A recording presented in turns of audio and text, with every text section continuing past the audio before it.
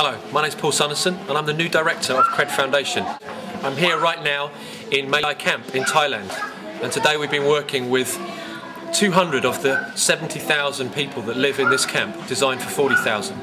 One of the many projects around the world that Cred has partners, have friends, have associates that we work with that we build up a relationship with and we trust. And in December of 2009 we hope to bring a team of young people out to come and serve this community, understand what's going on across the border in Burma and go back to the UK and spread the news and tell what's happening into the schools, into the colleges and into the workplaces.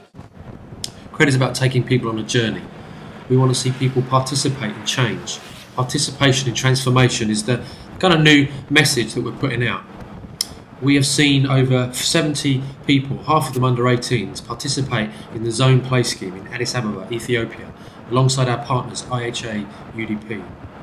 Next month, we're off to India to our partners FIAM uh, at their request to see whether a Zone Play Scheme would work with their children and young people.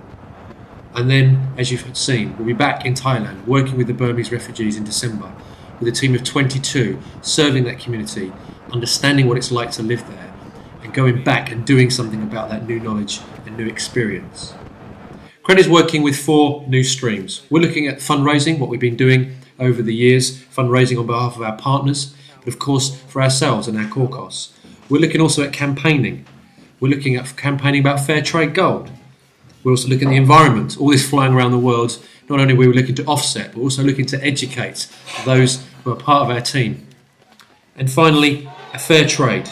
We have in Addis a jewellery cooperative that we're helping local people who live in the slums who have a skill to build a career and to make a living out of their skills. But it always comes back to funding. You, like me, have been receiving many messages uh, from various charities that we support who are desperate for money. And Cred is, is the same, I guess. We're, we're keen to carry on supporting our core costs, but also to carry on funding our partners.